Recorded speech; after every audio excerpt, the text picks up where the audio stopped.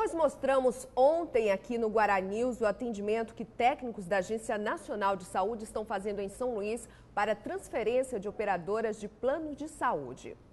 Hoje nós vamos mostrar que para não perder tempo, o melhor é ir até a central de atendimento da ANS e pessoalmente fazer a portabilidade.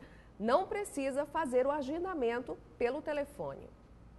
O aposentado de 68 anos aderiu ao plano de saúde há pouco mais de dois anos. Seu Antomar continua pagando 595 reais de mensalidade.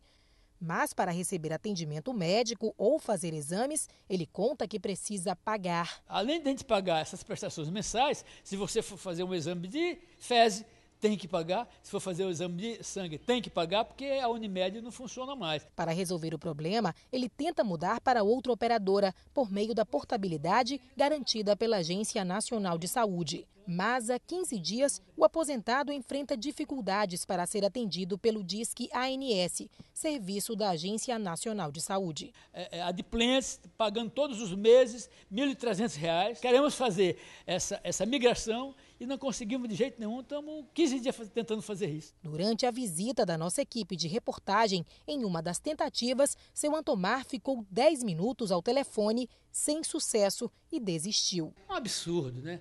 uma falta de seriedade nesse país. Tem PROCON, tem, tem, tem Estatuto do Idoso, tudo aí que não, ninguém está cumprindo, não estão se cumprindo, né? E a gente vive dessa maneira nesse país, desse jeito. E muita gente está dizendo que está bom. As pessoas têm nos, nos, nos procurado e têm ligado para o 0800 e não relatam essa questão da demora e nem da falta de atendimento. O que eles querem, é, o que eles acham é que iriam agendar um atendimento aqui aqui em São Luís através do 0800, mas na verdade não era isso, a gente que estava agendando e hoje a gente nem agenda mais, a gente está atendendo todo mundo mesmo, quem chegar a gente atende.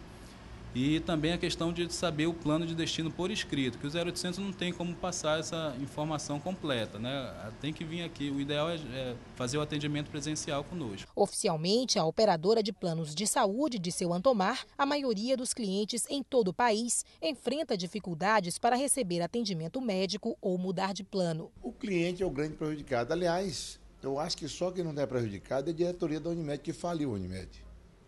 Porque os clientes são prejudicados todos os prestadores estão com, com dinheiro a receber e não vão receber.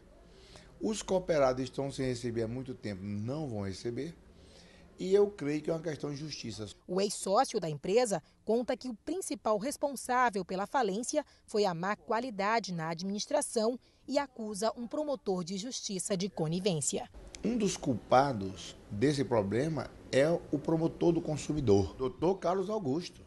Doutor Carlos Augusto, ele está me ouvindo e ele sabe o que eu estou falando. Eu fui várias, quase sequei as pernas de ir lá na promotoria dele, pedir para ele fazer alguma coisa, porque eu defendi, eu ainda era cooperado nessa época.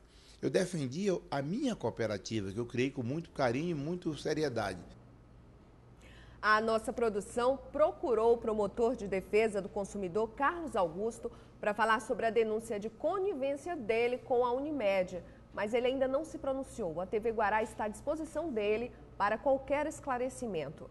E o plano de saúde, que é um dos mais caros e também considerado um dos melhores, não ficou de fora da crise. É que a partir da próxima segunda-feira, os hospitais UDI São Domingos e a Clínica São Marcos vão suspender o atendimento por este plano. Segundo o Sindicato de Estabelecimentos Hospitalares de São Luís, o descredenciamento foi por conta do não pagamento dos serviços. Somente após a quitação desses débitos é que o atendimento será regularizado. No próximo bloco, você vai ver a movimentação na primeira feira de emprego e estágio do Maranhão.